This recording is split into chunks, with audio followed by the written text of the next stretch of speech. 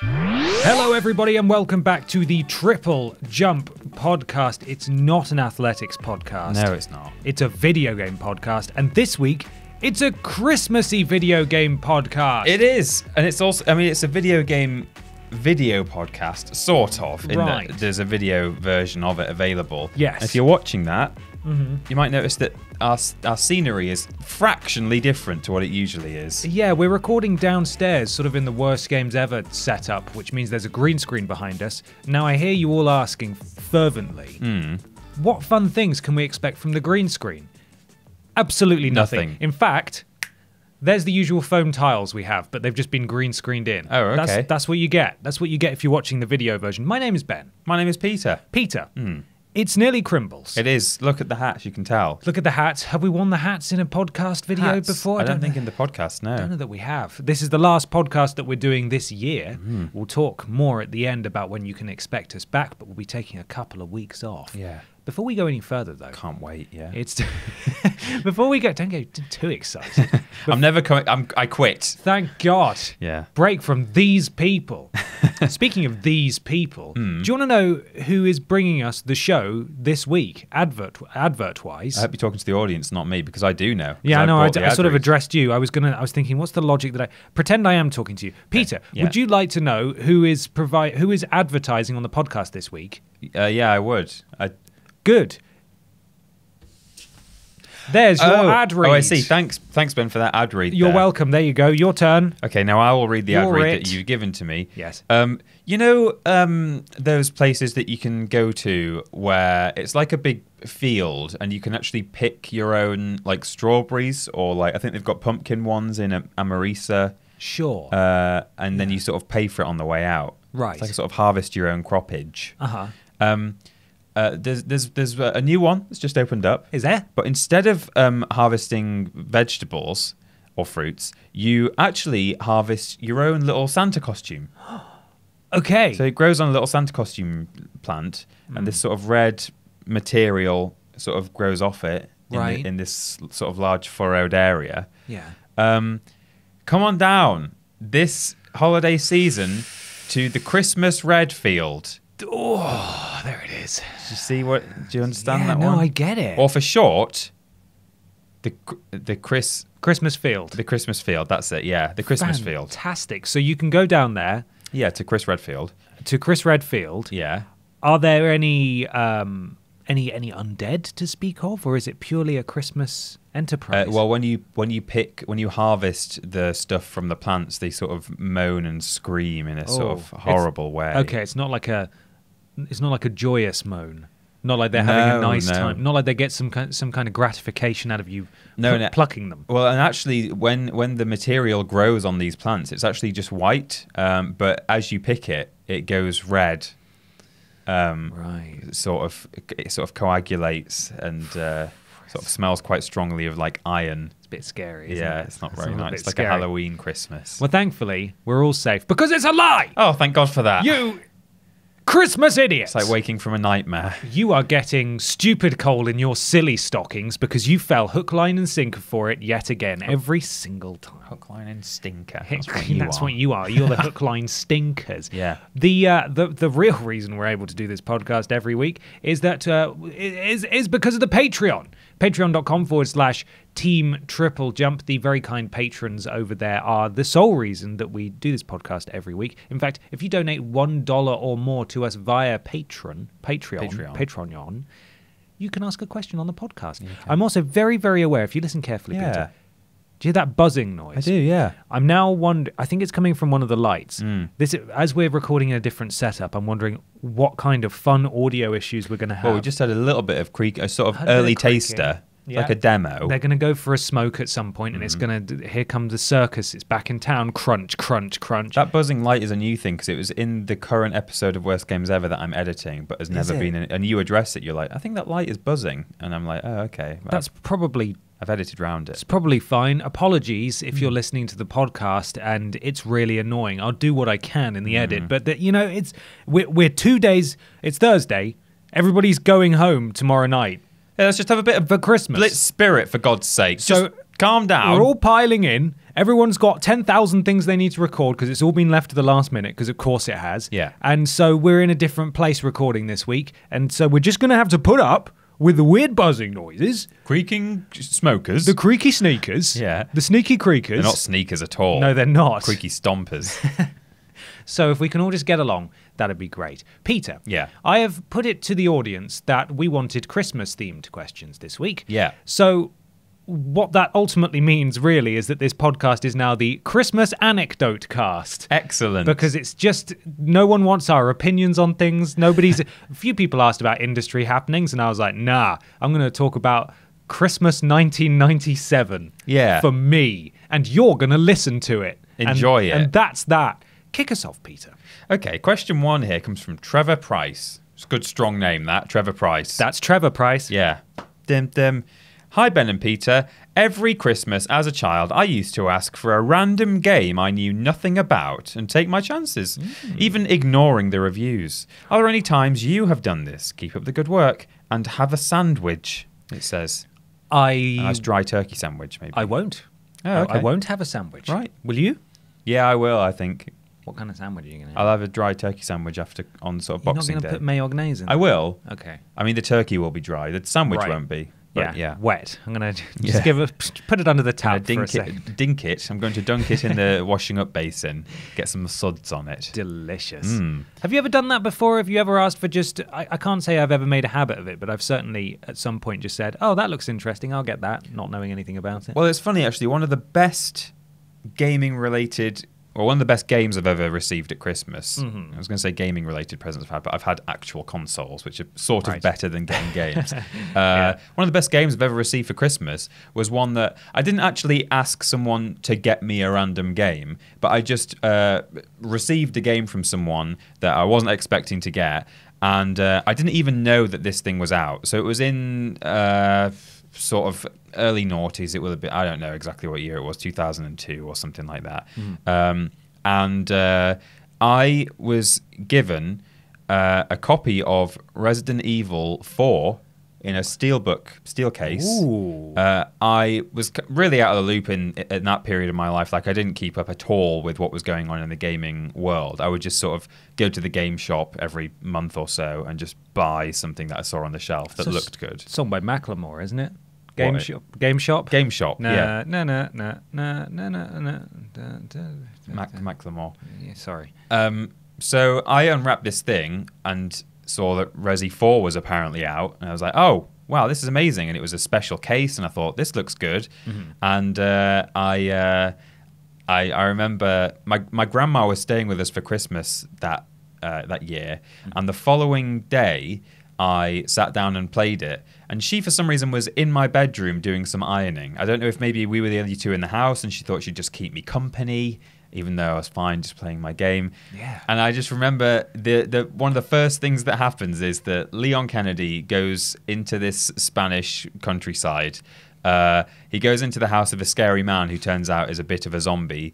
And then the two people who he arrived with in a car get knocked down into a ravine. And he looks out the window and he goes, You might have to, sen- well, you will have to censor this. Shh. Yeah. Oh. Like that, really vehemently. What time is that? That's uh, nine minutes and eight seconds. Nine minutes and eight just, uh, seconds. just make a little note for myself. then. Yeah, and uh, my grandma's behind me doing the ironing, and she goes, "Oh dear," like that. so uh, she didn't approve, but uh, yeah, I, I received Resi Four completely unexpectedly, and it's one of my, I think it's one of the best games I've ever played uh, of, of all time. So Firstly, yeah, that would have put you probably at the ripe old age of maybe 11, 12, yeah, which is not okay No. to be playing that. I found it very game. spooky, but I enjoyed it. Thank you very much. And secondly, how cool is your grandma to hear a swear word and not go, well, no, no, Turn that off, Won't boy. be, won't be listening to that. No, we?" I think she, I think she just knew that I played video games and I watched movies and It's stuff. just how that- it be. Yeah, she's I- a pretty cool grandma, actually. Yeah? She's the one. I think I might have said on on a podiots once. She's the one who, when we were about eight years old, uh, we were driving along. She was in the. She was driving. It was just me and my cousins and my brother and sister in the car. Hmm. And we saw a, a guy snatch a woman's handbag Oh, yeah. and jump into a getaway car, and he sped away. She just chased him at- in like fifth gear for for a while. that is a Resident Evil 4 permitting grandma. It right is, there. yeah. hundred percent. Yeah.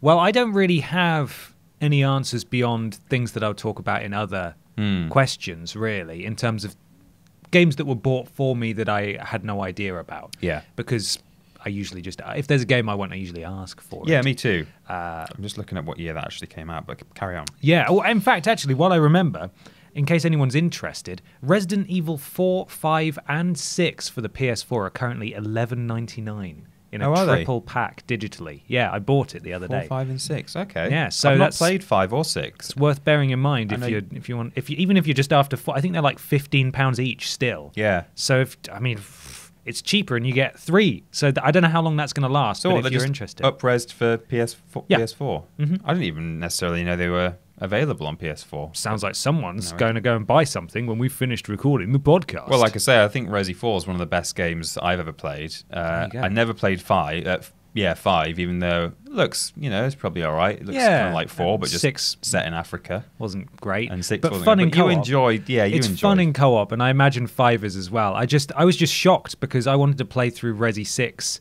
as my next co-op game that I play with my friend over the internet. Right. Yeah. and um, and so we just we both bought it. In fact, I I borrowed the Office copy. right. Potential spoilers for the Tat unboxing Oh, on Christmas. Day there.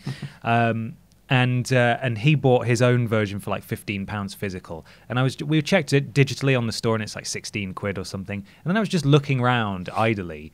And yeah, there's this triple pack for eleven ninety nine, cheaper God. than any of the games individually, and you get all three. That's crazy. So if you I'd want to buy play Resi the 4 Resi for eleven ninety nine. well, exactly, and then just not play five and six. Yeah. it's your prerogative. five a but go, maybe, you might as well. Might as Uh, well. Anyway, that came was, out in uh, 2005 apparently, so I was 13. Okay, that's still very young. Yeah, it's pretty young. still very game, young. Yeah. Um, yeah. So, I mean, this is going completely the opposite end of the spectrum. I asked for one year. I asked for Rune Factory Oceans on PS3. Okay. Came out in 2011. Uh, it's a it's a JRPG. Right. It's not good. Sounds like one. and I really liked. I, th- I don't know what it was. I think I just wanted to play a game that was l- that was like it. I think it had sort of life managementy, uh, farming sim elements to it, Mhm. but then it was a JRPG on top of that. And I think I liked the art style, and there was something about it. that I think it was quite cheap as well. And, it, and I was just looking at it, thinking, and you know what? I'd quite like to play that, but this is I feel like post rose tinted glasses era PS2 where you could buy a game that was objectively not very good and still have a good time. Yeah. Now, you know, you just need to look at the reviews we we go through in worst games ever to see that once you hit PS3, the reviews are pretty much bang on Mm. in terms of this game is horrible, 10%. Yeah. Whereas on PS2 it's like this game is horrible, 60%. Yeah. Uh, so I should have paid attention to the critical reception. It got a 55 on Metacritic. I played it for about an hour and then never touched it again. But I don't know. It, it suckered me in. That was the Hmm. last time I, I asked for a random game for Christmas. Right. And uh, I'm very grateful to have received it. And I think I still have it. Okay. But it's just not very good. oh, well, I'm sorry to hear that. That's all that. That's all I've got to say on Why don't we talk about something that presumably is a game that you think is good by talking about something that you made a conscious choice to play this week in a section Yeah. that's taken a long time for me to introduce. Oh my god, the, he's getting louder. Called Yeah. What we Wait. playing?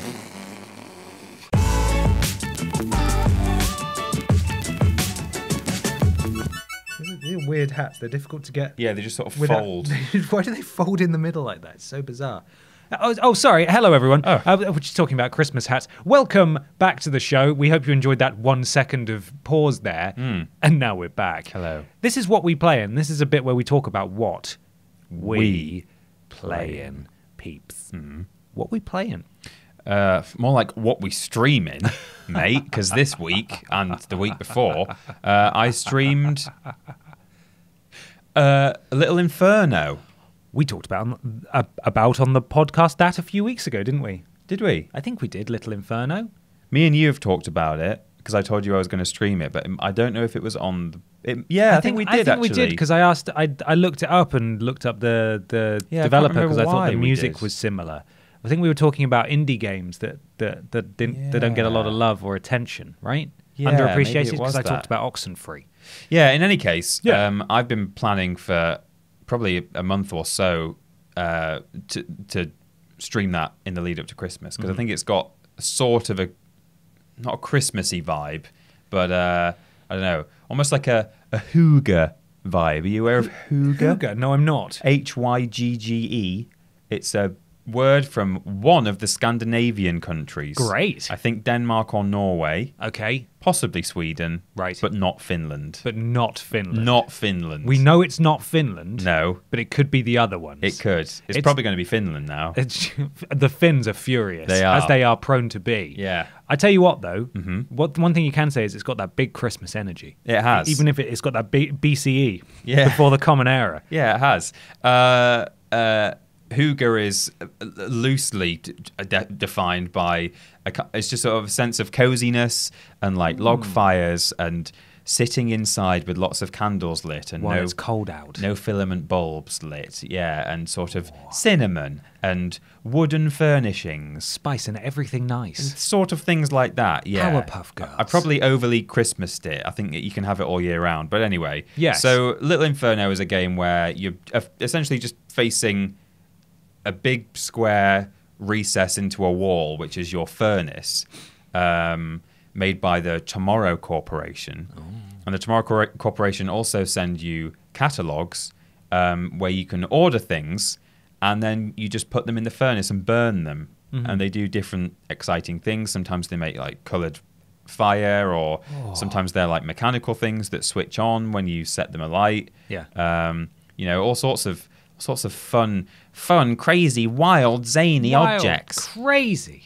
Um, and uh, the game essentially is you just working your way through each catalog, just burning things, seeing what happens.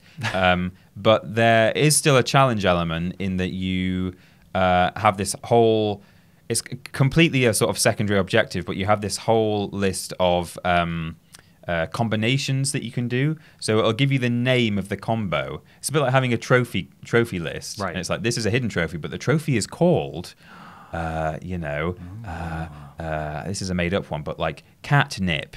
And in order to do that, you burn the little cat plushie Yeah. and maybe some like chatting, chattering teeth. Oh, that's like clever. catnip, something like that. You know, Right. uh, some of them have you have to burn like three things at once, um, and there's a lot of objects to go at, and it's actually quite easy to sort of talk yourself into, oh well, it could be. It could be all five of those things. They're all related to nip or cat. so, and you, as long as you burn them at the same time, you can actually get, you know, a combo that only requires two things. As long as that those two things are in this mass of like five or six things that you're burning, so Right. that can be quite fun. It's like you hedge your bets and think could be any of those. So you order them all, chuck them in the furnace, and set them alight. See what happens. Yeah. Um, we've not got as far as sort of the final act of the game uh, on my streams, but there's this a complete shift in both, well, not really in tone, but in uh, gameplay style. Okay. Uh, right at the end of the game, where suddenly it becomes basically an entire different genre. Oh wow. And it's like, oh, what? Okay. It's a bit like Echo the Dolphin, A little bit, it yeah. just sort of comes out of left field a bit. Yeah, I mean that's more you know Echo the Dolphin. The last level still plays the same as all the others, but Right. it- yeah, tonally it's different in Echo the Dolphin. Yes. Uh, tonally, I would say it stays the same in Little Inferno in that all the way through Little Inferno, it's this very weird mix of ah cozy happy fire, but also cozy happy fire. Set fire to your cat plushie. No, no. It's a little bit Little Nightmares oh dear. as well. So Dystopian. yeah, sort of dystopian and a bit creepy. And anyway, it's a really nice, bizarre blend of, uh, you know, gameplay styles and and tones and things. So I've really enjoyed it, and I'm gonna I'm gonna finish it in one more stream at Fantastic. some point, probably in the new year. Yeah, it will be the new year at this point, won't it? Well, it will be. Taking our break now. I was I did say on my previous stream that I would maybe stream on Friday if everything is done, and I said that's very unlikely. But Yeah. on the off chance everything is done, and I've got a couple of hours spare on Friday, I'll I'll stream it. But I don't think I did. Oh, did you not? Well, I mean, you, you didn't say. no, I did say it, Oh. but I mean this has gone out on Oh, right. right. Saturday, yeah, right? we're very busy. Yeah. we're so busy. and uh, you know at time of release, I probably didn't do the stream. Maybe not. Sorry, everyone. Hmm. New year though. Uh, speaking of streams, Peter, Yeah, what you been playing? I played uh, the ha- when how do Marcus saved Mercenary Day Oh yes, you did. DLC from Borderlands 2, the Christmas themed one. That's that's a great one. Yeah. It's a lot of fun. It's weird playing Borderlands 2 after Borderlands 3. Mm. But I was quite fortunate in that uh, it was a, a very very nice smooth 60 frames per second. Oh, okay. So it was different in a good way. Yeah. Not that Borderlands 3 doesn't run well, but Borderlands 3 doesn't run well. No. So Borderlands 2 it's just I think it's I said it on the stream it's it's it's pretty much ageless now in that its art style is going to allow it to look good well into the future. Yeah. It came out in 2012 and now that it's it's got a home on current gen consoles at 60 frames per second it's kind of like that's the perfect version of this game and it's it's never going to really look or get any better than this and it's just going to kind of be a bit timeless which is great uh, I, I defeated the raid boss and Okay. uh, mr tinder snowflake Right. And then i went and fought him again and he was more powerful and Mm-hmm. i died a lot of times but i did eventually beat him Merry Merry Christmas. i did it I, Well ki- done. I killed him Fantastic. he's dead now good. but Yeah. in my free time at home where i live Mm. i've been playing the outer worlds Oh, have you? I finally Back jumped that now. back into it because I only played it for like an hour and then two hours for a stream. Is that all? I thought you played a bit more than that, but No. I guess I, I- I just assumed. Played the first hour or so, and then I played. I streamed it for two hours. Oh. Played the first couple of hours again, and uh, and yeah, last week, last weekend, I started. I picked it back up after finishing off Death Stranding, and I tell you what, I don't want to talk too much about Death Stranding. Yeah. But it was so nice to go back to an actual video game, like a tr- in a traditional sense. Yeah, I'm getting a lot of ads at the moment for uh, Outer Worlds, and I'm thinking, Are you? yeah, looks looks like a lot of fun. it's it's fantastic. Like it's so well written, and I'm really really enjoying it. I'm pains. It's taking me so long to play it. Yeah. because I'm talking to everyone and going into every house, and I've got you know you've got your companions, and they'll chime in during quests and like pop in during dialogue and just just snark about something. Uh, I. I mean, we've spoken about how the Outer Worlds works before. I think most people have a vague idea. It's from the people who did Fallout New Vegas uh, and the original Fallout games. If you want to get serious about this, uh, and so it's it's quite dark in its humor, and that's that's a dystopian future right there, where everything's run by corporations uh, on these sort of outer world planets. Yeah. and uh, everyone's sort of indentured servants to them, and if they speak out, they get, you know, they get their pay cut or they don't get medicine and stuff like that. So everyone's just sort of saying, "I'm a Spacer's Choice man. So is my dad. We've been Spacer's.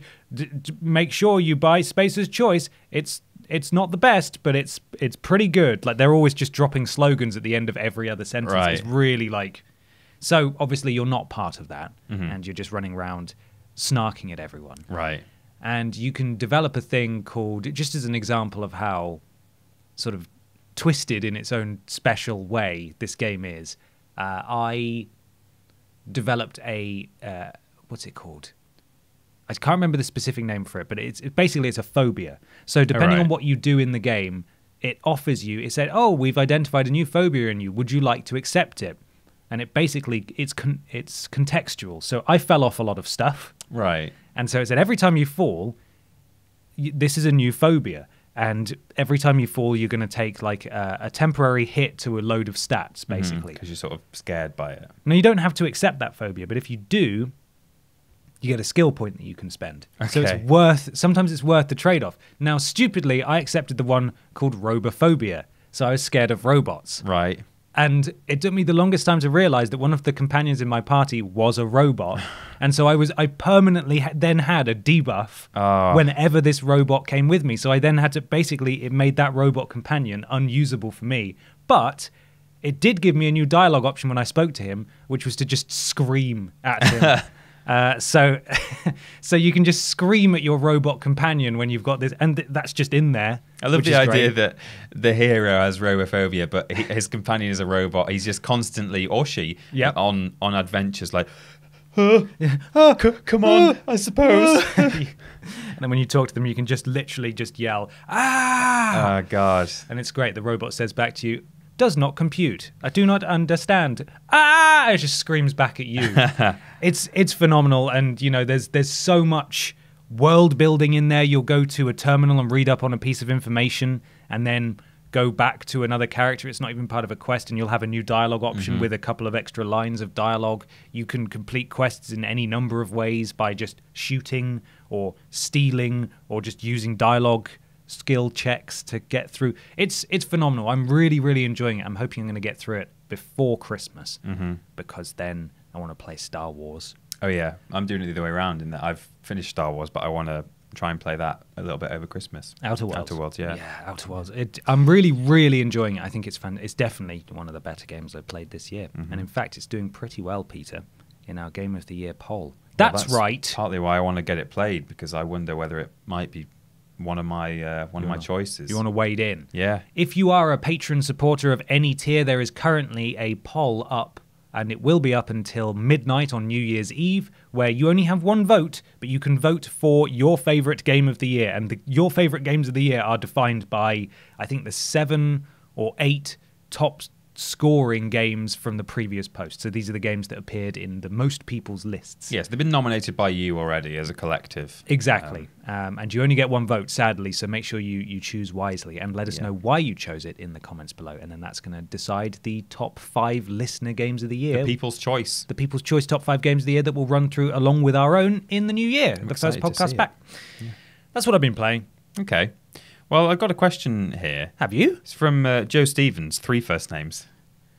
Have, really? Well, Stevens is is is t- you know, there's more than one. Oh, it's Stephen there. plural. Yeah, Joe Stevens. Joe Stephens. Yeah. Uh, hi, Ben and Peter. Hello. I'm a massive fan of both you and have watched your videos for both of you. Both of you. There is an of in there. There it is. Uh, hi, Ben and Peter. I'm a massive fan of both of you and have watched your videos for years. And I'm now in a position where I can support you on Patreon, something I wanted to do for ages. Thank you, Joe. Thank you very much, Joe. I was wondering, what was the very first video game related thing you got for Christmas? Personally, mine was an N64, which I still play to this day. Keep up the good work, fellas. Thank you, Joe. Thank you, Joe. Do you want to answer that one first? Because I sh- that, you should have read that one, really. It Oh, was it's your turn. No, it's fine. Um, well, mine Yeah. was a teal Game Boy Color Oh, wow. with Pokemon Blue. And they were brand new in the box, all sealed up and everything. Should have kept them like that. I sh- I be shouldn't have opened it. I shouldn't now. have touched it. I should have just put it straight in a plastic Just box. bought a second one. Never touched it again. Yeah, I often think, what if I could time travel Hmm. back to the 90s and just buy all these sealed copies of Yeah. consoles and games? I'd be a rich boy now. Hmm. Yeah, no, it was my it was my teal, my sort of blue colored uh, Game Boy Color and a copy of Pokemon Blue and I played it all Christmas and I got stuck in Viridian Forest, which is not that far from the beginning of the game because I didn't realize that the black void at the top of the forest, you just sort of had to embrace it and walk into it to exit the forest. Right, and you didn't want to even. I couldn't even see it. Like I couldn't. Everything, every other sort of entrance way that I'd come in and, and, and out of so far had been mm. on a building. So to get into the forest, you go through a building and out the back door, which is clearly a door. And then when you get to the forest, there's just this black void with a couple of tiny sprite arrows on the floor. Right. I didn't put two and two together, so I was wandering around this forest for a long time. Ah. That was basically my whole Christmas Oh, Merry was Christmas, just wandering around this forest. But I eventually worked it out. But yes, that's the first one, uh, first Christmas thing I got, and it kickstarted my Well, Game Boy habit. I was just going to say, it clearly made a lasting impression on you, even though you did spend some of your Christmas staring at, well, not even staring at a black void. You thought it was irrelevant. that no, it's black not, what's that? There's no forest. Staring at everything else. I've gone through all the forest. But uh, you know, you like you still like your Pokemons a lot. I do. And your Game Boys. Yeah. So uh, it was worth doing. Yeah, absolutely. Peter, Hmm. what was the first gaming thing you got for Christmas? I think I don't actually remember because I think I was very young at the time because I got an older brother, so it was probably sort of for him but shared. So Mm. I was even maybe younger than the normal entrance age. But I think it was a PlayStation One uh, with it. Will it came with Demo One, one Yep. of the many Demo ones. there are various ones. Demo Juan. one, which had demos for like Spyro on it, MediEvil, Tomb One, Mm-hmm. Gran Turismo, um, and I think it had a copy of Crash Bandicoot bundled with it, the original, or maybe they, they, my parents bought it, you know, a, along with it. I don't know if it was bundled, Right. Um, but I don't actually specifically have a memory of that. I don't have an actual image in my head. What I do remember though is probably I think it was the same year uh, being given a copy of Tekken One by I think my aunt. Okay. Um, And the thing that I remember most is how heavy the box was because it's one of those manuals that's like really, really It's got 12 European languages in it. Yeah, like uh, and and each set so like the the the manual itself uh, has a different page for every character. So it's got character Oh, profiles like and then that. you multiply that by 12 or whatever. Right. So it was a really hefty box and I was like, "Wow, this is great." This is an expensive game. And uh, I remember playing that quite a lot in, in the very early days of me having a PlayStation. Uh, you know, there was a level in Fiji that had just the best music ever. Oh, can you recite it now? I see you dancing to it.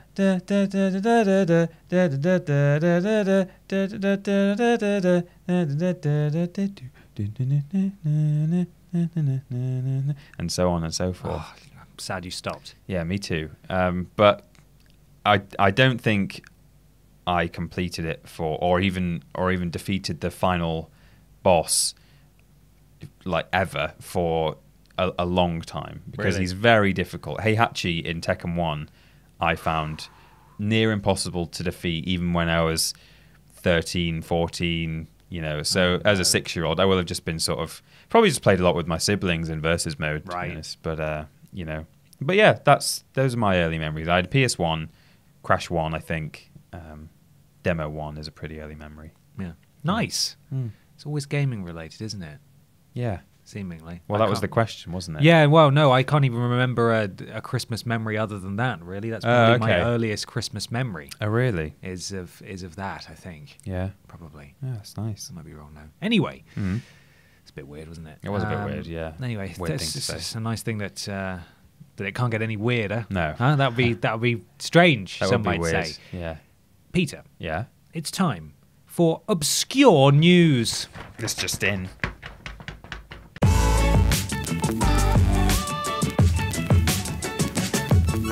Peter Mhm. Austin. Yes. Have you got something weird for me? Because. I've got something weird for you. It's one of those that you won't be able to use for the video title. Oh, well, thank goodness I've got something that's not nasty. I hope you're not being sarcastic. No, no, I'm not. Okay, this is by Luke Plunkett at Kotaku. Okay. Um, Microsoft cancels streamers partnership after sex offender tweet. Okay. Okay, Okay. pretty short write up, but it's it's all you need to know. Let me just mute this. There we go. Jeez, You okay? no, uh, No. no. No, you're not okay. Getting a lot of buzzes in my hand there. Oh, right. Harrison Harrison Jr. Patrick Stewart. I think that's his his username. Harrison Jr. Jr. Not Patrick Stewart. No, he's called Harrison Patrick Stewart. I think. That's such a confusing way to write his name out. The first four four words of this article are very confusing. So Harrison Harrison Jr. Patrick Stewart had until last week been a verified streamer and partner on Microsoft's Mixer platform. Hmm. His deal has since been cancelled after he tweeted an image of himself alongside the text. Come watch a registered sex offender plays Fortnite with 10 year olds. Two exclamation marks. what? It's not even grammatically correct. So it's because he he posted a selfie and he looks he's got a sort of you know weird mustache Oh, and right. shades on. So he thinks he looks like a like a sex offender. That's a really funny joke. But uh, let me just read that again verbatim. Yeah. Come watch our registered sex offender plays Fortnite with 10 year olds. Good. As the Hollywood Reporter dot dot dot reports, that's actually what it says. Great. from Luke Plunkett there. As the Hollywood Reporter reports, Yeah. Stewart, who had who had around eighty thousand followers, posted the following tweet last week before quickly deleting it, and then it's embedded the tweet in there. Yep. Um, in a statement sent to the Hollywood Reporter, Microsoft say we take immediate action when we determine content violates our terms of service. We encourage our users to report potential violations, and we provide guidance on how to do that. We've reviewed the content in question, and as a result, made the decision to end our partnership. Stewart's account is no longer verified, nor even apparently active, with all his previous streams deleted and a small message left simply saying, I'm sorry. Really? Is that all it says? Yeah. Um, I'm sorry. Something I missed because there's a massive advert that sort of threw me off. In the middle of the article, it does say he then issued an apology, and there is a larger Right. apology here. So he tweeted out at Mixer Harrison Jr. I suppose he should change his handle now to just at Harrison Jr. Patrick Stewart. Now that yeah, now that he's been dropped. I want to apologize for my recent tweet. I absolutely agree that it was inappropriate, and I'm sorry to the people that it upset. I made it without thinking how it would read. I meant it as a joke, but I agree with the fact that it isn't something to be joked about. I'm sorry. Man, it's it's kind of astonishing, really, because if your entire audience, if if what you play is Fortnite, Yeah. which I'm I'm reading between the lines here, I'm assuming he's a Fortnite streamer. I Sounds don't, like I don't yeah. Mm. know. That means your audience is predominantly young. If you if you cannot, I mean, everybody makes mistakes. Yeah. I'm not suggesting that he's an idiot, man. No. But that's certainly an extremely foolish mistake to make uh, when it concerns your livelihood. Mm, yeah. Can you imagine going into work and goose stepping around? Yeah. It is Peter about. Austin. Yeah, as you are prone to do. Absolutely.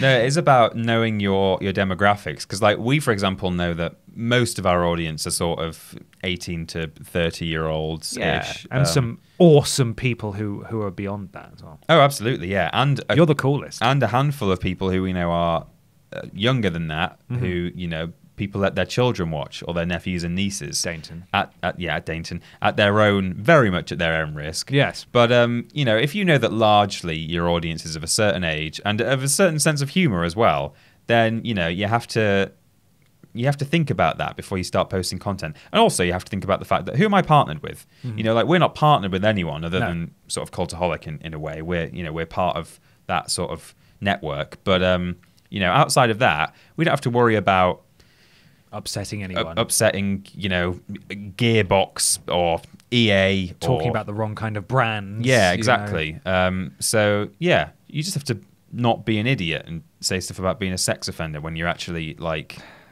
you know, affiliated with Mixer Just got a stupid moustache. and streaming to children. dumb. Yeah, It's really dumb. Silly mistake that. Mm. Well, are you ready for my weird news, Peter? Yeah. This comes from Polygon. Okay. Modern Warfare charges $20 to show players how many times they've died in a match. What? Twenty dollars? Yes. A In, microtransaction. in what? In a match as yeah, well. Yeah. Not even. Ju- oh, here's all the deaths you've ever had. That would be a more interesting stat. I can keep a mental note of how many times I die in a match. Sorry, carry on. The subtitle is A microtransaction watch is basically the only way to find your kill to death ratio mid match. Oh my god. Yeah. One of Call of Du- one of Call of Duty Modern Warfare's frequently requested features is a deaths column on the scoreboard for every mode. While it may seem like a trivial addition, it's entirely missing from modes like Team Deathmatch and has been since launch. Wow. However, as part of the recent Mother Russia bundle, players can buy the ability to see their deaths for $20. Unbelievable.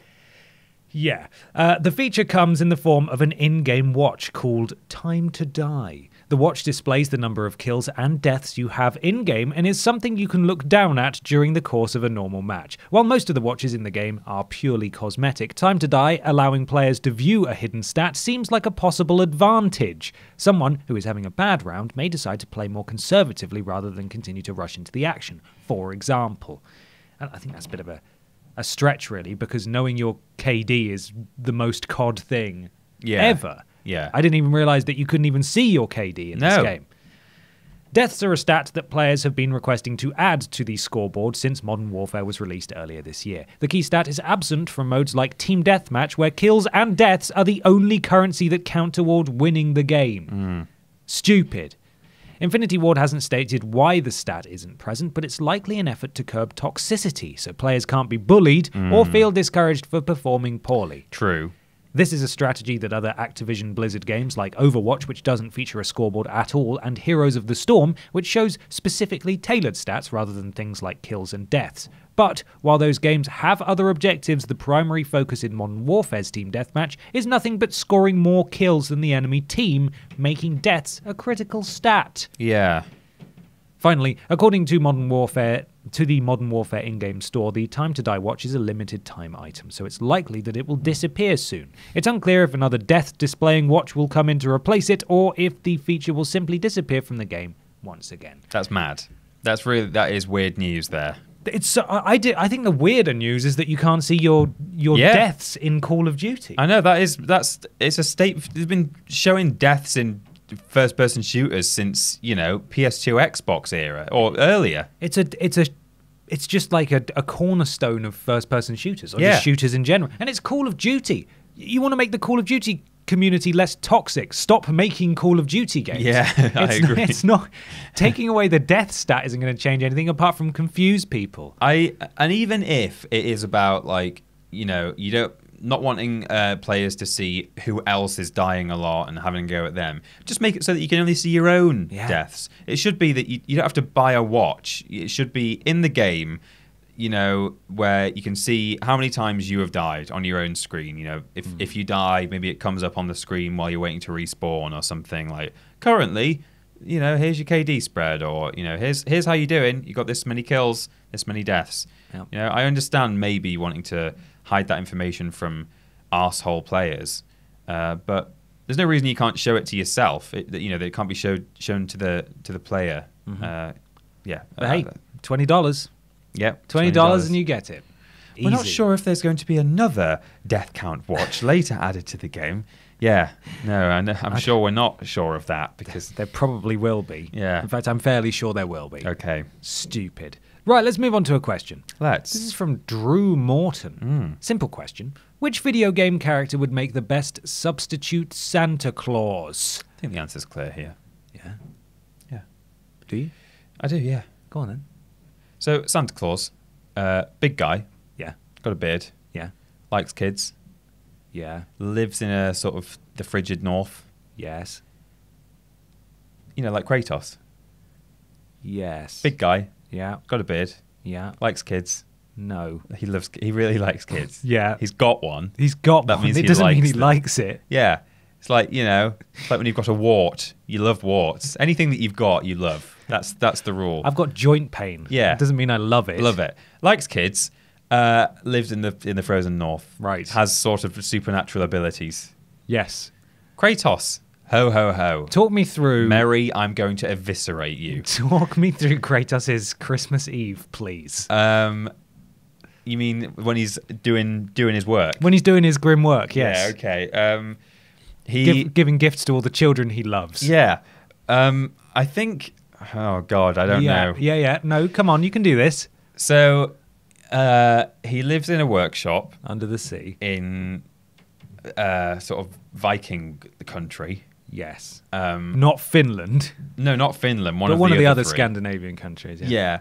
And he's got little elves. I think elves are originally a sort of European ish uh, Yeah. creature. He's got elves who make make toys. And then they There's say dwarves in the game. he's got dwarves then. The Okay. dwarves make the toys for him.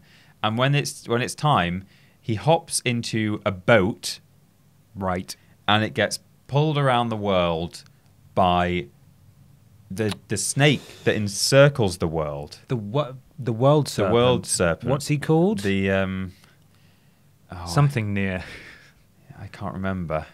Gar- Gar- Gar- Garfieldir. The Garfield Garfield.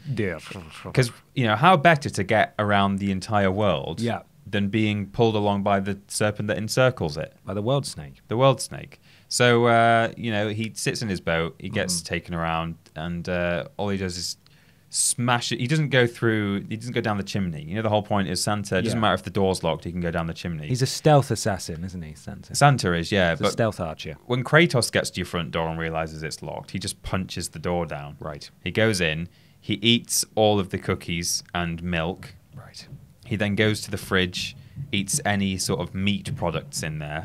Yeah. All all of the eggs, he eats all the raw eggs. All the eggs, yeah. Yeah. Because he's got to get that protein, hasn't he? Yeah, and then uh, he leaves behind uh, the severed head of one of his enemies. Great. Yeah, for everyone. He's got that many. Yeah. He's got enough for one for every child in the world. You're totally right, Peter. Yeah. You are. I, to- I see it. I see it. I doubted it originally. Yeah? But have you got any more suggestions? No, it's just Kratos. Just Kratos, because you're correct so, you, you're correct. That's Yeah. it. You got it right. I have three. Oh wow, okay. You ready? Yeah. First one is Sam Porter Bridges. Because it sounds like Santa. No. Sam Porter. because he, well, kind of. Sam Porter Claus. yeah. Sam, Porter Claus. Sam Porter Claus. he delivers things for a living. He does. That's a good point. However, he bloody hates it. Mm. So this is sort of a this is this is my hypothesis, and then this is me just sort of debating whether you know like a, a scientific paper Yeah. where you're not going out there to prove something, you're going out there to to see if it's correct. Yeah. Right. So you're you you've got to look at it from both sides. Mhm. So Sam Porter Bridges, he delivers stuff. You can get Father Christmas hat in the game. Oh, can you? It is possible. Okay. Apparently, when I was doing a bit of research on him, uh, he delivers stuff by trade. However, I bet I don't think. I mean, he does like kids as well, actually, because he's got that little one on his tum tum. Oh yeah, he has. Yeah, So he's forgot got that about that one. one. Sort of the integral part of the one of the most Yeah, I, important. I just sort of ignored it for the whole game. Yeah. Uh, but however, he falls over a lot. He Yeah. take he takes ages to get anywhere. His equipment is not good enough to get him across the whole world, and Hmm. um, and he doesn't want to be delivering stuff anyway. He just falls over all the time and ruins stuff. He's got to fight weird creatures, so I don't think actually I don't think he is a good one. no, he'd be a good substitute if Santa got. God, imagine if Santa got like food poisoning on the twenty third Oh, of no. December. That would be really bad. It's like uh, Sorry, guys. It's, it's like the the myth that MythBusters did about the toilet on a plane. What about you know, it? you know when it just basically drops off a massive lump of ice. Oh yeah. It- it- look out below is all I can say. Oh god, I don't. Santa's mean, got the bum piss while That's he's not what I delivering meant. presents. I meant imagine if he just got really ill and wasn't able. That was the one day of the year that he wasn't able to work. See, I think it'd still, I think it'd still go. Right. But it would just be look out, Look out for blue eyes. look out below everyone. Yeah. because Santa's coming to town. Or brown ice, I think it would be. Yeah, exactly. Uh, my next suggestion is the Xbox mascot um, and vehicular icon car from Forza. Oh, car. you know, yeah. car from Mm. Forza. One Yeah. of one of the Xbox mascots, car from Yeah. Forza. Yeah. Uh, the Forza car. That would be good. It's fast enough. It's really fast. It's got plenty of. Actually, it probably doesn't. See, this is the negative now. It doesn't have a lot of boot space because it's got an engine in the back, Mm. and then it's not got much room in the front, and it's only two seater. yeah. So actually, no, maybe not. Might have to get each child a single, a single Lego stud. Yes, Each. one of those mini mini ones from the Wish Tat that we did. Yeah, you very could, very You tiny. could get ones. maybe like two billion of those in. Or how many? How many children? I guess are these sort of Hmm. not necessarily Christian children, but like Christian plus atheist and agnostic. Yeah, how many Western children? Yeah, I guess Western really is. Yeah. Did Uh, you celebrate um, Christian? You have um, Christians in the in the Far East though as well. I think. You do, but Yeah. I suppose Christmas as a commercial thing is spread. They celebrate Christmas in Japan, but it's not a religious thing at all. No, I know. I'm not. My point is like it's not a really. So you're not just counting the Christians. No, you're no, counting you're not. Anyone who celebrates, who who has the the Father Christmas thing going on. For argument's sake, let's just say, half the population of the world. maybe. yeah, let's just say you need at least three and a half, Yeah. four billion studs, Yeah. uh, which coincidentally is is what people say when they go cross-eyed and they look at me and you. Yeah. Go, wow, Wow. there's at least three, Three to and- four billion Three and a half studs four there. billion studs. Oh my god, look at them, M- mountains of men. So I don't think that would be appropriate. No. Xbox mascot Forza car, no. I do have one more. Okay, And good. I think I might have got it with this. right. Jill Valentine or other from Resident Evil I know why. because of the teleporting item box. Oh, What did what were you going to say? Well, if if Santa Claus gets to the door and it's locked and he, he he's like, "Do I go down the chimney?" No. No. I'm the master of unlocking. Oh, see, that's another element. So definitely Jill Valentine. it's got to be. Jill Valentine. It's got to be Jill Valentine. She's even Not named only- after a holiday, just the wrong one. Not only is she the yeah exactly Yeah. Not only is she the master of unlocking, not only is she named after some kind of patron saint of a holiday, yeah. but she's also got a teleporting item box. Mm. Anything she puts in one, wherever else she is in the world, if there's another item box, that item will be in there. Dressed in red, I think. So she just has to go to every house and hope there's an item box. Yeah. and that's it. So there we go. Kratos and Jill Valentine, I think, could maybe team up. Sitting, maybe driving around in in Forza. Maybe driving around in Forza car. In car. car, sorry. Xbox's car from Forza. Yeah, I erroneously thought the car was called Forza. No. no. The the the the doctor is called Frankenstein. The monster Yes. is called his Forza. Is called Car. Yeah. There we go. I hope that helps. I know it doesn't. Mm. Peter, it's time to move on to a huge discussion. Yes, ready? it is. What's that? Oh, it's coming. It's oh, it's a Oh. big discussion.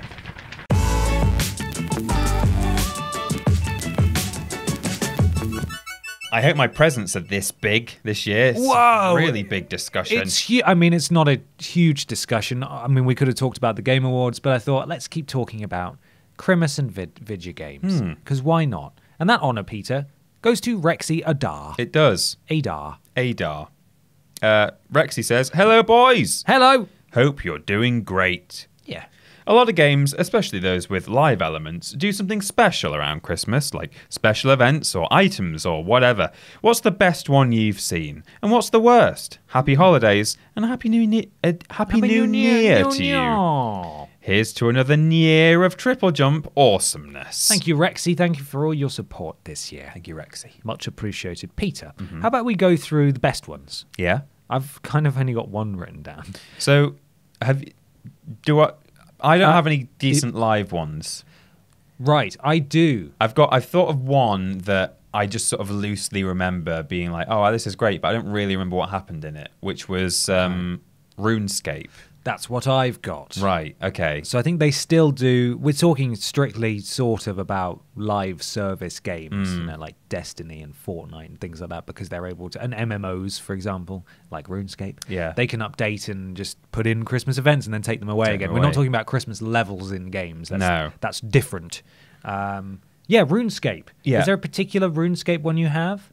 No. I. So I. They've done a few. I just remember, uh, you know, playing RuneScape back in the sort of the the initial wave of when everyone was first playing it. I just Yeah. remember sort of logging on around Christmas time and going, "Wow, you know, everyone's got Santa hats on." Mm-hmm. I think there were like present objects that you could like give or find or something. Uh, It's very sort of hazy in my memory. I guess there was probably snow as well, but I don't even remember that.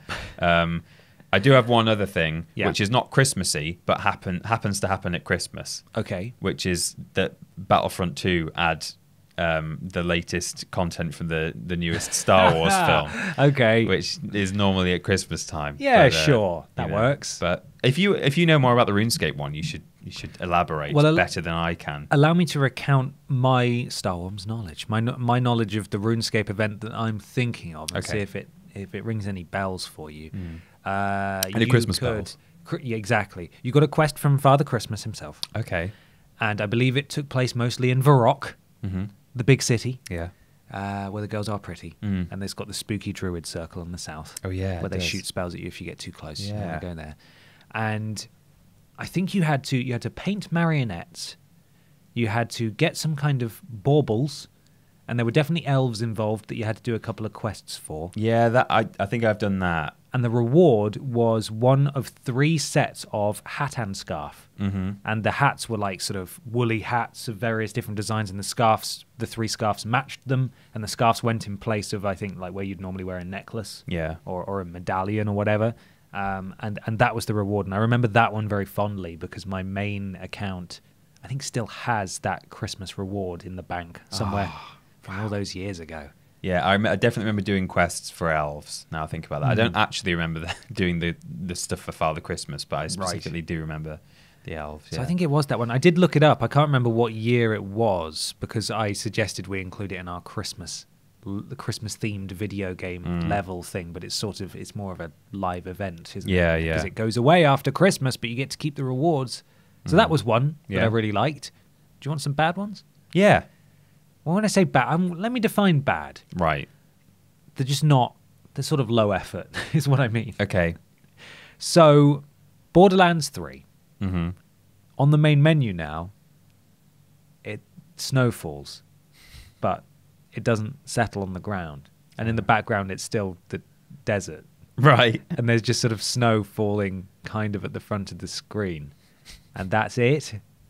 That's it. Good. I haven't seen anything in game yet. At a solid 30 FPS. That's, that's snowfall. remotely related to Christmas. I haven't Yeah. seen anything about that.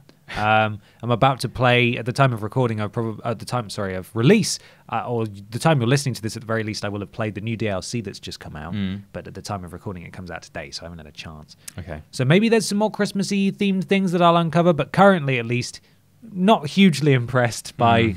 They might as well have not done it.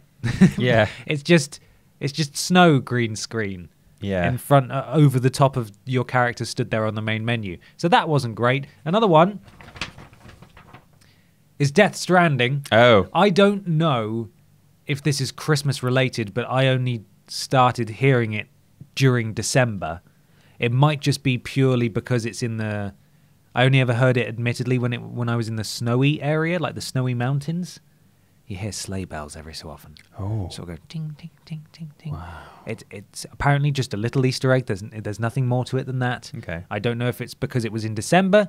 I don't know if it's because it was in December and I was in the mountainous area, or if it's just because I was in the mountainous area and it's all year round. I would imagine that if it's you know a little Santa reference, Mm. it's probably the second option there Right. that it's December and also in the snowy mountains. But I thought that was like that's a bit, bit rubbish, isn't it? Well, uh, talking of this is completely unrelated to the question. But, Okay. You know, given that I don't really have a very good answer, I'll pad out my time with this. Go on. I saw yesterday on YouTube that there is um, a really what sounded exciting but turned out to be kind of disappointing Easter egg in uh, Jedi Fallen Order, Oh, okay. um, where there's this bit very early on in the game where you're walking through a train and just opening some doors as you go into the next carriage, and on like the second or third door, the button's not working, and uh, what you're supposed to do is press the button and turn around, and then the game continues on from that. Yeah. But apparently, apparently it's time to go for a cigarette because everyone's having a little. There they all go. Little creak. No, they're stuck again. That's fine. Apparently, if you attempt to open the door 66 times, What? Okay. then you just hear the emperor go execute order 66. Oh, that's And that's it. stupid. That's, that's just Is that real? Yeah. Oh, I- that's dumb. I saw on YouTube this video came up in my recommended saying like order 66 Easter egg in Fallen Order. I was like, oh, what's this? What's this then? Pressed it. It was like, yeah. So what you do is you press this door 66 times, and he was oh. like, I'm going to speed it up so you guys don't have to watch. Even sped up, it seemed to take forever 'cause it's quite a slow animation. He sort of goes, huh, huh. God. So it takes it, and then he just goes. Ex- it doesn't even sound. It's not even a very good impression. Execute order 66. oh, And dear. then- oh, will you just commit to going outside? Jesus. Great, great, great. Okay. I think they- Okay, they're sort of going gone now. back in now. Yeah. um, no, because I, don't really play that many live games, really, or, or games where um, Where such know- things could happen. No, yeah, where it's sort of relevant or like fits in. Um, so yeah, you know, not really. I don't. I don't either. But uh, you know, I remember the RuneScape one fondly, and certainly, Mm. you know, Borderlands Three was a, a bit of a letdown. They could have done all sorts. They went way harder on Halloween than they did at Christmas. And I know that their first proper story DLC is coming out just before Christmas, but putting in doing that just makes me think, why did you why did you do it? Mm. Um, they have admittedly been giving away actually some codes. The the twelve days of mayhem or some Borderlands buzzword Right. nonsense, where they've been giving away on social media shift codes to redeem various skins in game that are festive related. But uh, the main menu with the snowfall, it's just like it's, it's just falling on desert, and of course it's melting. How is it even falling in the first place? I remember um, one Christmas I was given a game. Uh, was a vehicular combat game, mm-hmm. sort of a bit like Twisted Metal or something. Yeah. It was called Motor Mayhem. Whoa. Which is a really lame title, but it was set in this sort of futuristic dystopian world where it was like a, a combat sport that people from all across the galaxy were watching on telly. So not twisted metal, then. No, not Twisted Metal, but it, I, I really enjoyed it actually. It's it's like that, but not, but, not, that, but that, but that, but just not that. but just not that. Um, so it's it was an underrated thing. I felt sorry for the fact that it didn't do very well because there was some interesting world building. Yeah. Um, got it on Christmas Day. When I plugged it in, uh, uh, I put it in and, and launched it. Um, I chose this one character who's this like giant rock man Mm-hmm. who almost sits on this comically small cart because he's so big. Right. It's not supposed to be funny, but he's like enormous. Okay. Um, and he's meant to be a bit sort of big and scary. And when I got into the arena, he had a Santa hat on, Oh, and I just thought, oh, that's how he looks. is that how he looked? Why, it, why does he wear like a weird Santa hat? But it was one of those where, because this is PS2, this was the day before, you could actually get online with a PS2, but most people didn't. No, Um, but it, it just used the in game clock, uh, the, the console clock. of course. So I guess for a sort of a week around Christmas, it would uh, do things like that. And I like that. I'm fairly sure Yeah. Mm-hmm. Harvest Moon does stuff like that and things. You know, it's it's it's always fun. I do like Christmas events. Um, Lego Loco used to do that. You aware of Lego did- Loco? no, I've never heard of Lego Loco. It's a PC game. It was a sort of like having a Lego train set. It's like a top-down world builder, but sort That's of cool. almost sort of 2D. It wasn't. like that. Uh, it wasn't isometric or anything.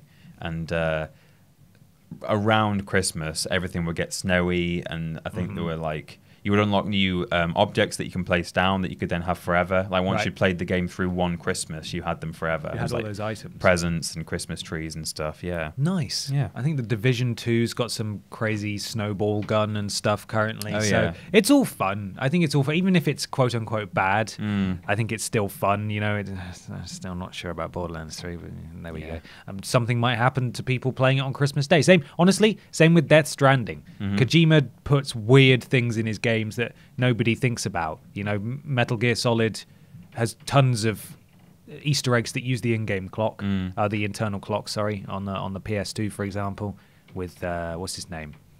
Who's the old guy? The sorrow. Which old No, guy? The sadness.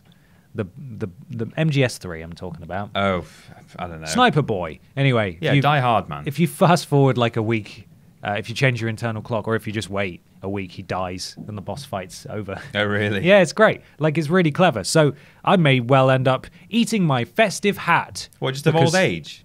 He yeah, just dies. because he's really old. God. And then he starts the battle by saying, "Give me the strength to take this one last foe." Right. And if you just wait a week, he dies because he's old. I like that. Yeah, That's it's good. it's very clever, um, and I'm sure there's there may well be something in Death Stranding as well. But I just thought the sleigh bells are just a bit.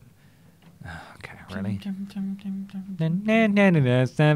But there we go. I'm sure you will let us know Here about comes all the Jill things Valentine we can. and Kratos in car.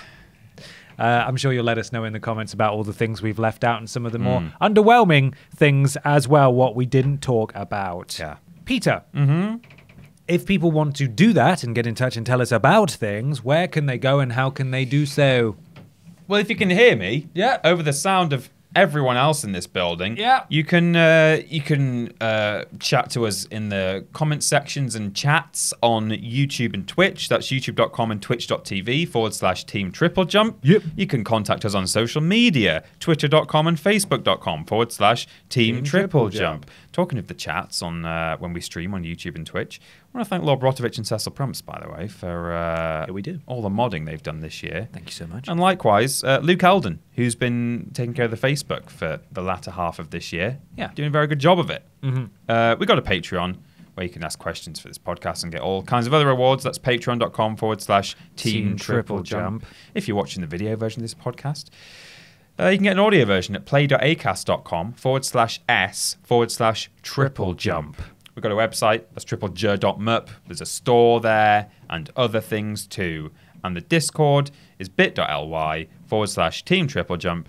And thank you to the mods there as well for all their work this year. That's Jack, Joe, and Crimson Dragonfly. Fantastic. Thank you, guys. If you'd like to follow us on Instagram, you can at that Peter Austin and at Ben Potter 20. On Twitter, at that Peter Austin and at confused underscore dude. We're taking a couple of weeks off now, but usually you can expect a couple of lists from us every week, Tuesday and Thursday. Streams every Monday, Tuesday, and Thursday. Th- th- th- th- Monday and Tuesday being on Twitch, Twitch. being the solo streams, and Thursday being on YouTube mm. for the joint stream, Blaze it. Worst games, Peter. Yeah. Worst games. Worst, Worst games, ever. Fortnightly. Friday for patrons of a certain tier, Sunday for everybody else. It is not a worst games ever week, but next week will be. Mm. Speaking of which, actually, we do the podcast every Saturday, but we do shows pretty much every other week or thereabouts. Leave us a review on iTunes, etc. It helps to do with algorithms. Now, these shows, we've still got stuff going out over the Christmas break. Yeah, we have. We've got an episode of Main Menu that's, I think it's actually just gone out. That went out, out on Friday. Yeah, I think it did. Yeah. So please watch that. It's festive themed. it's good. Worst Games Ever is going out is going out at the end of the Christmas week. Mhm. So just after Christmas, you'll get a Worst Games episode. Rules Boss. There's an episode of that going out at the beginning of January. Exciting. We've got the the Worst Games Ever Christmas Triple Jump Appeal Tat unboxing Yes. going out on Christmas Day. We have the biggest list we have ever done going out on New Year's Day. Hmm. Please, please, please watch that. An unbelievable, unbelievable amount of effort's gone into it from several people, and uh, and you know we'd we'd very much like you to watch it and share it around. And if you're hungover on New Year's Day, you're welcome. There's something for you to watch that's gonna take a while. and there'll still be a, a, a light scatter, a light dusting, uh, like snow, of uh, other lists sort of throughout the the break. Um, Yes. Sometimes it might only be one per week. Sometimes it's two per week. Uh, but there'll be enough to keep you keep your ticking over. Keep your chicken over. No streams, that. though. No streams. We're actually back. We should be back on the 6th of January, Monday Hmm. the 6th of January. So, commencing that week, streams and podcasts will resume. And the first podcast back, as we said earlier on, will be our Game of the Year 2019 Hmm. show. So, if you're a patron or if you want to join Patreon, maybe you get a little bit of that Christmas money and you think, hey, you know what? I can afford to chuck a dollar into the hat. And then, even if it's just for one month, you can then go and vote in this uh, in this poll And ask a question too.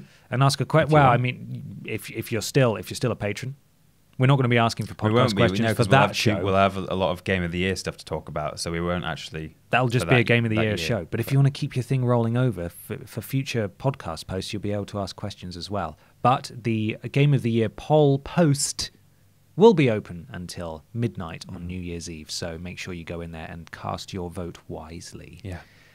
Peter, Mm. there's just enough time Yeah. to talk about our sponsor once more. There is. Ho, ho, ho.